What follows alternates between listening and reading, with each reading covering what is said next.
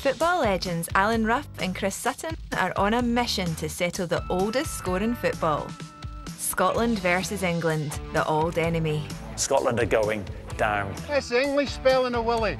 As captains of an all star Scottish and English lineup, they will lead their teams through a series of challenges themed around Group D of the Euros, Oh, come on. concluding with an epic penalty shootout with a twist This goes in with one. to decide who will have the crucial bragging rights. This is the ultimate old enemy showdown. Let's meet the teams.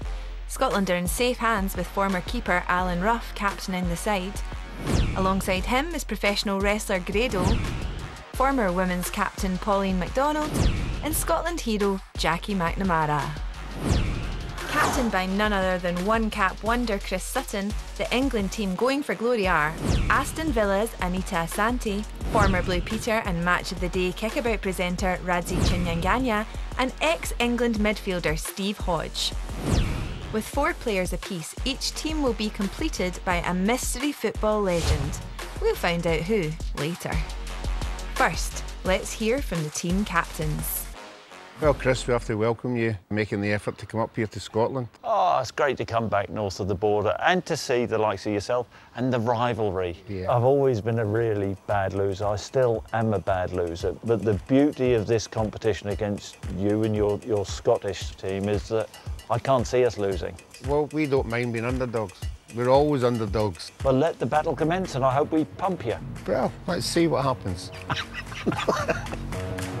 Each side will go head to head across four challenges trying to win power balls. The power balls will be used during the shootout with each one a cunning way to impede the opponent's penalty taker. But before we get to that, we're heading to Croatia for the first of our Group D theme challenges, and this one is going to test the taste buds. The task is simple. We've come to a Croatian restaurant where our players will be presented with a traditional Croatian dish. They must taste the food and then name the main ingredient. There are three dishes to try, and whoever gives the most correct answers wins a Powerball. Taking on this challenge for Team Scotland is fans' favourite and food lover, Grado. He's taking on Aston Villa's Anita Asante, who has notched up 70 caps for the Lionesses and is ready to devour the competition.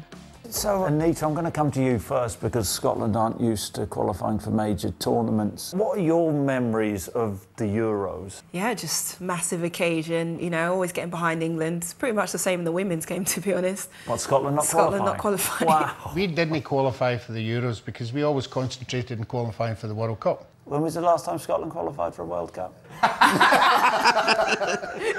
and Grado, do you have a big appetite? Very big appetite. I'm a big lover of food. I'm not a great lover of seafood. Croatia's by the sea. Right, oh well. Well, I like prawns. I like prawn Yeah. cocktail at Christmas. Okay, well, let's do this then. Don't let us Go down. for it. I think uh, Anita will be into fine dining.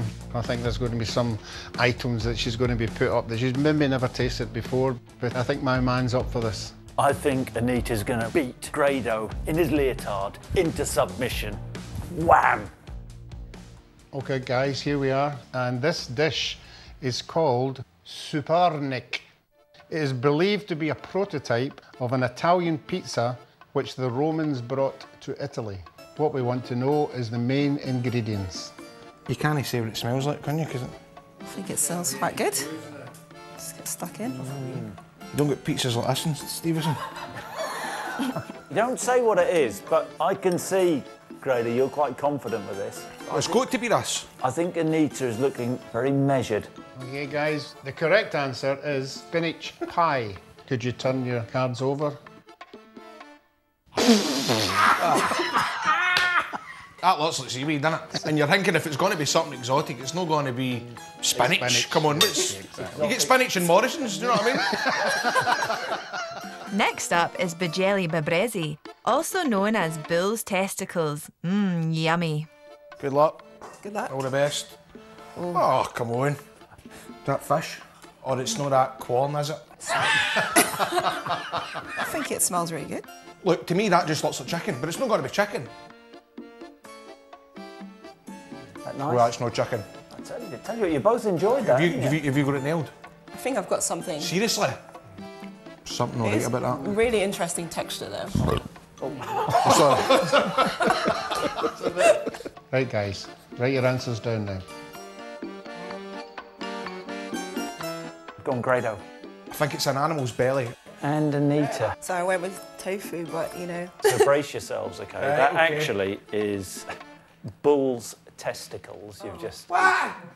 How the, the size its boys? oh, that's giving me the boat now. How do you feel after eating that? Oh yeah, not good. Isn't it though?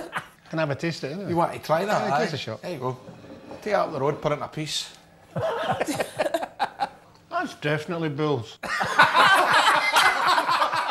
As a wrestler, you'd think that Grado would recognise mashed up balls when he sees them. One more dish left to test E the taste buds. Crni Risotto is a cuttlefish ink risotto that really leaves its mark on the taster. Grado needs to get this right, otherwise Anita will take the win. Is it nice? It's not bad actually. I so hope you get this wrong. No, I swear to God, you're going to be you're going to be gutted. Yeah. Let's see your tongue. No, I can't because, because that will give him a clue. Let's see who comes up trump. Three, two, one. Let's see. Let's see. Anita. Octopus. What? so what is it? Squid's an octopus. Is it no? So, with neither guessing cuttlefish, that means Anita takes a 1 0 win. That's a Powerball to England. How do you like that? What are you good at? Wait and see. well, that'll be good. Not the result Scotland were after, as England take an early lead by winning their Clown Shoes Powerball. While Anita and Grado work through their leftovers, next up in Group D, the home match Scotland. We all know Scotland is home to some of the world's leading artists, so we've come to the House for an Art Lover designed by the great Charles Rennie Mackintosh for an art based challenge. Our players will be given 20 minutes to paint Mr. Alan Rough. But we've added a football twist. They have to wear goalie gloves. The best drawing of Ruffy, as decided by a guest judge, wins the Powerball. Taking on this challenge, having swapped his Blue Peter badge for the Three Lions, we have Radzi. And current Scotland women's under 17s head coach and former team captain, Pauline MacDonald.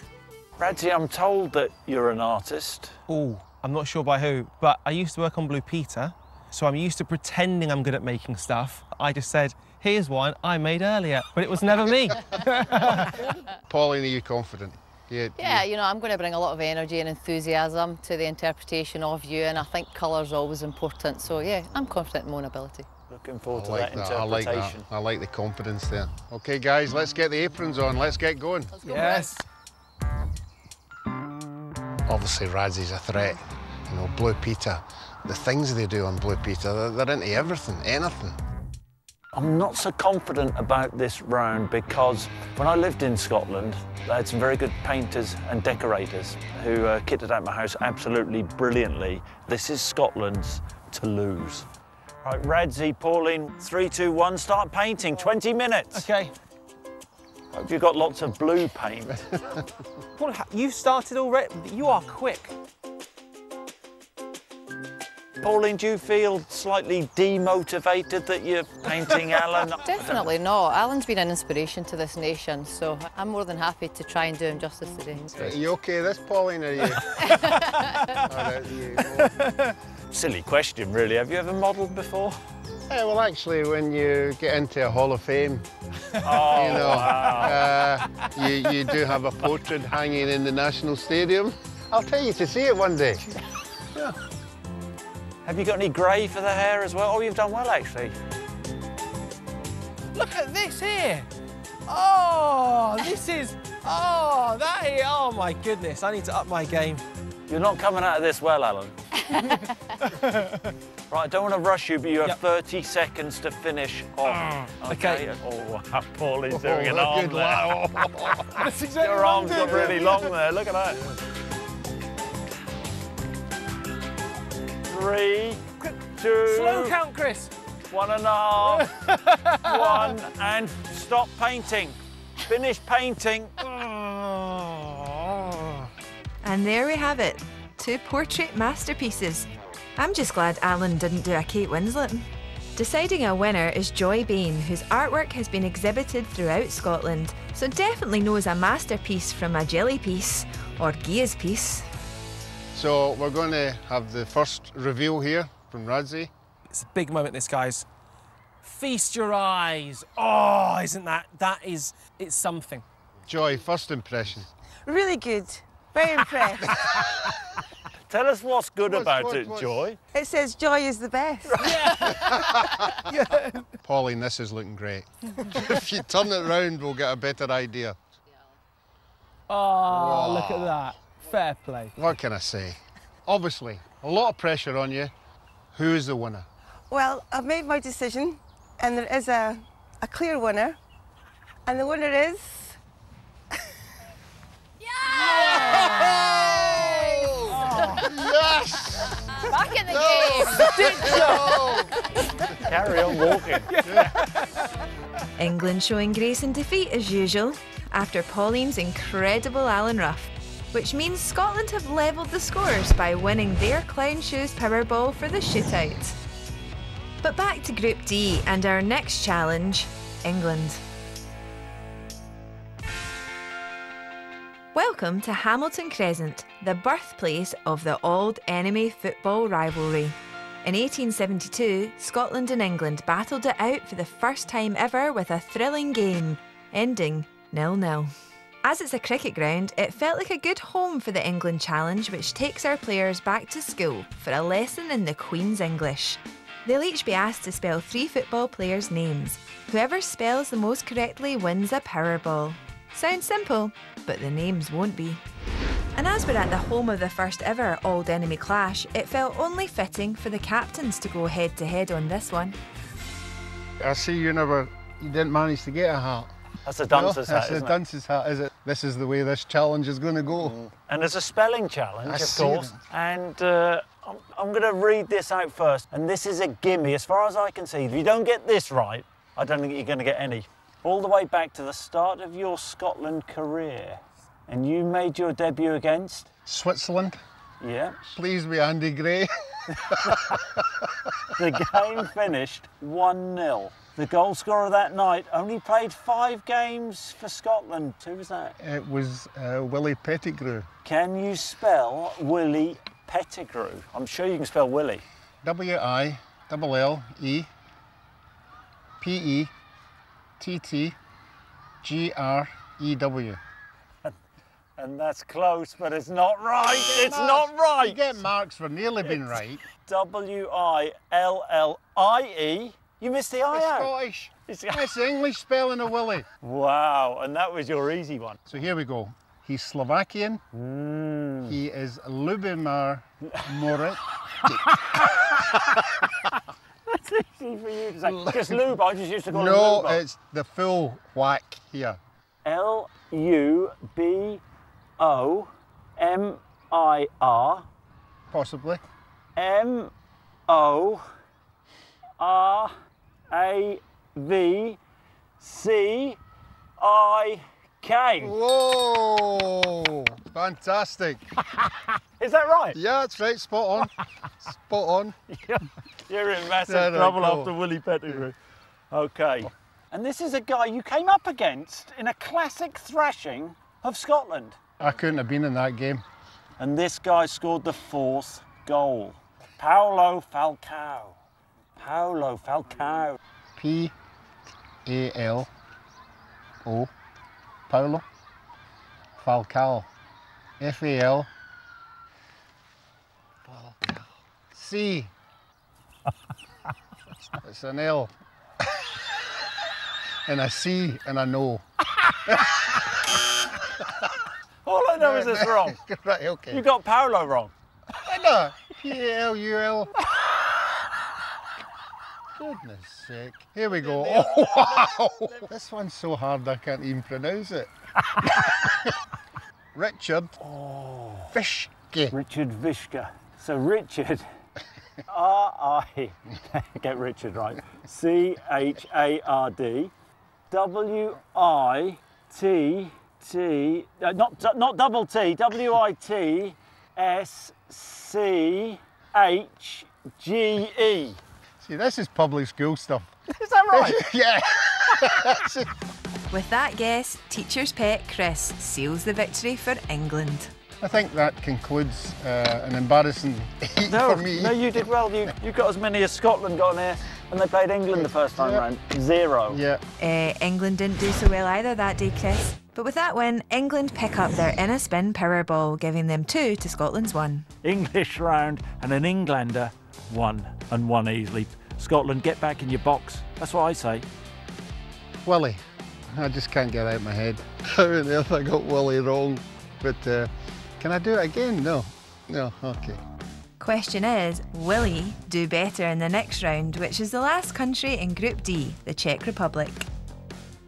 This Czech challenge has been inspired by the traditional Czech sport of woodkopf, a pastime that involves balancing a two metre wooden board on your head and dueling with an opponent. But for this challenge, we've given it a footy makeover. With the boards on their heads, our players need to dribble past a pair of Czech legends and finish with a Panenka style chip into a basket. There is a chance to pick up two Powerballs here one for completing the course by getting a ball in the basket, and a bonus one for doing it first.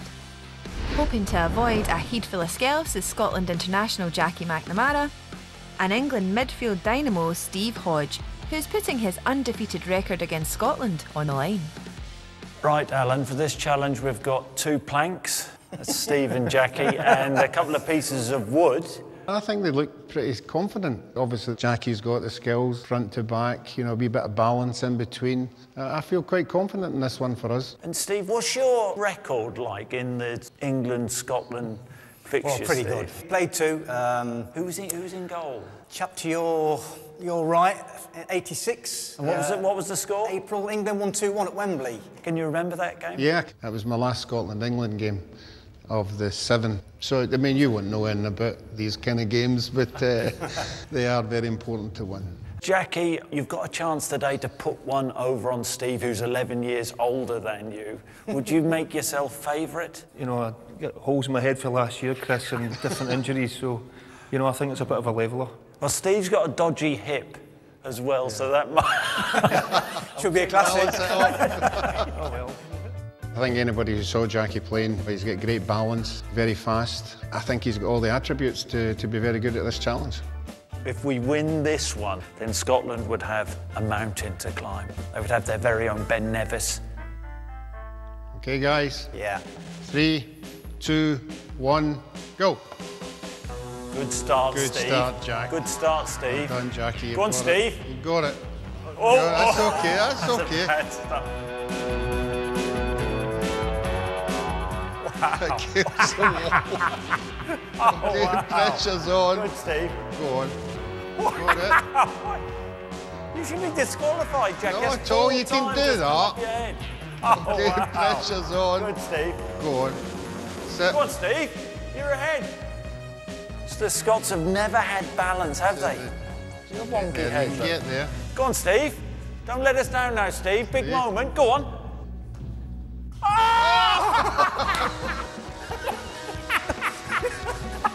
That just- Wow, Steve has smashed the course for England, but Jackie can still pick up a power ball. He's got three attempts to get a ball in the basket. Come on, Jackie! Get this in, I'll give you the money myself. Go on. Oh. Can we move the basket closer? You need the ball, Jackie. Does that count? So, despite losing the head to head, Scotland pick up their Inna Spin Powerball for completing the course. But with the win, England have added beer goggles and moved the spot to their Powerballs for the shootout. That was obviously a difficult challenge. I thought Jackie hung on in there and got a, what could be a very, very important point for us. I can't wait for the shootout now. Bring it on. We have the power balls. We have the power. Scotland are going down. I wouldn't get too confident, Chris. We all know anything can happen when it comes to penalties, especially for England.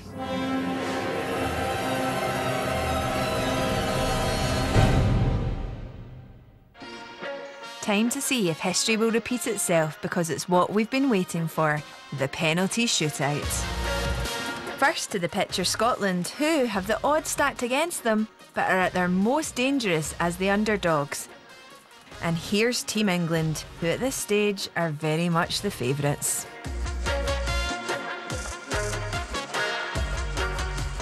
So this is it then, Alan. This is what it comes down to. And I think you've noticed there's only four of us so far, and we've got our star man, our legend. Who? And I think our Who? legend is Who? better than yours. Do You tell me first, who's yours? Well- What's yours done? I think my legend has possibly scored the best goal in any World Cup that you've ever seen. Archie Gemmill. In the 1978 World Cup, Archie scored what is widely considered the best goal ever seen in a World Cup. We went bonkers when Archie slotted it in. He went on to earn 43 caps for Scotland, scoring eight goals. Look at that, the legend. He's still got it. Well, I tell you what, I can trump that because my man has scored a hat trick in the World Cup final. So put that in your pipe and smoke it. We've got Sir Geoff Hurst. Immortalised by his heroics during the World Cup final of 66. Hurst has got some people are on the pitch. They think it's all over. It is now. Sir Geoff Hurst notched up 49 caps for England, scoring 24 times. So, Sir Geoff, tell us about your experience of playing against Scotland. Well, the main experience is beating them most, most of the occasion. And what was your first ever game against Scotland? Did you win? Did you score? of course. What a silly question. Um, my second game was against Scotland at Hampden Park in front of 134,000 screaming Scots. And we won 4 3, and I scored my first international goal. So memories of that will always stay with me. And can Archie trump that, Alan? Yeah, I think Archie can. Obviously, you've scored what is the greatest goal ever in the World Cup. Could you talk us through that? It was that long ago, I can't remember. no, I'm only kidding. What I can remember was that when I initially got the ball, I knew exactly what I was going to do straight away.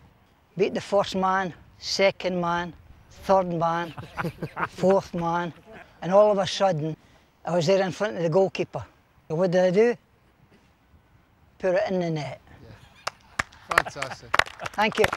Uh, yeah, I have to add to that, I actually started the build up to that goal. you know, I remember it been for me, distinctly. You wouldn't have got it. So, Alan, shall we get on with it then? Yeah, let's go. Let's go. Come on, Let's then. Yeah, yeah. So, two national icons complete our team lineups. And with that, I'll hand you over to your commentator for the shootout, another national icon, Archie Macpherson. Good afternoon, and welcome to the ultimate old enemy penalty shooter. Remember, Scotland have two power balls to England's four. To activate them, the captain just needs to shout powerball, and the kicker will certainly find the penalty a whole lot harder. First up for Scotland is Jackie McNamara. He's a cool customer, always was. Powerball! Powerball! And Chris has activated his first Powerball, which is on the spot. So, back the ball goes five yards. Jackie lining up is essentially a free kick now and does it! Beautifully swept away. Consummate coolness. Oh, start. Absolutely great technique. He seemed completely unfazed by those extra yards. Here we go, no pressure, Anita. Anita Asante is first up for England with a taste for victory after the earlier challenge. How will she fare here? Oh, oh no! Oh, she puts it over the bar and possibly the stand as well.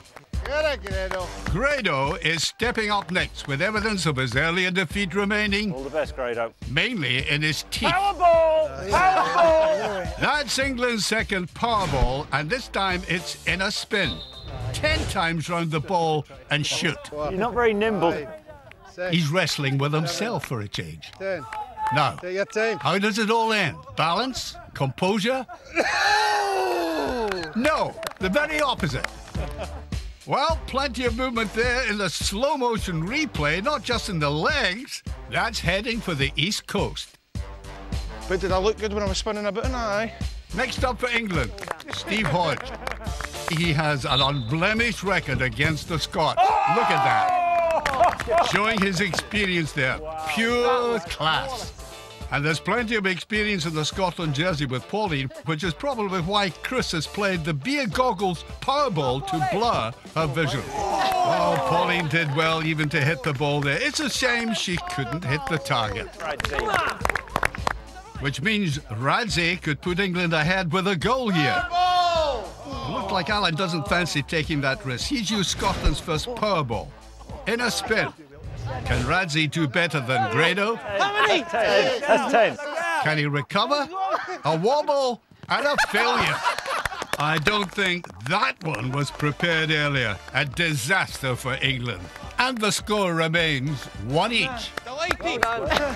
Here comes Archie Gemmill. Unlike his wonder goal against the Netherlands, he has only one player to beat this time round. Should be easy. Powerball, Powerball. Commentators cuss there. Chris has activated England's final Powerball.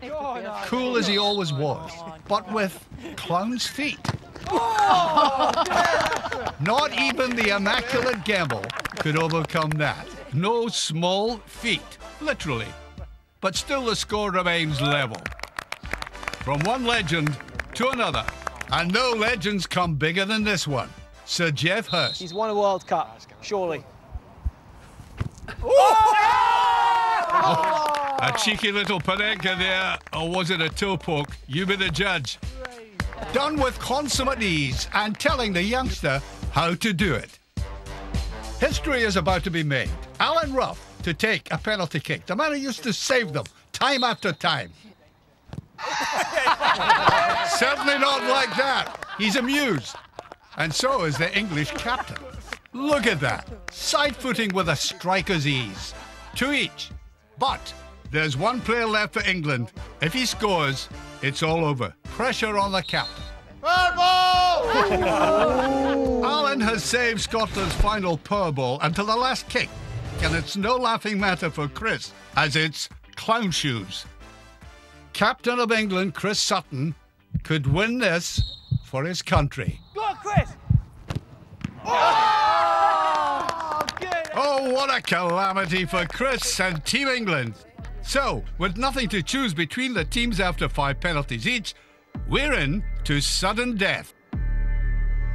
And back to avenge her beer goggle miss earlier is Pauline.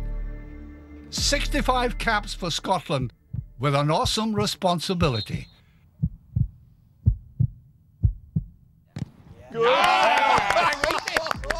What a solid penalty from Pauline, piling the pressure on England.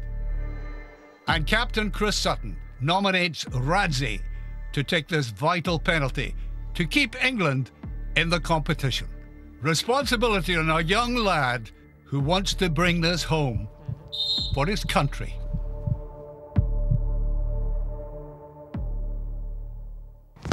Oh, what a disaster for England. Once again losing on the big occasion on penalties. Scotland win the shootout.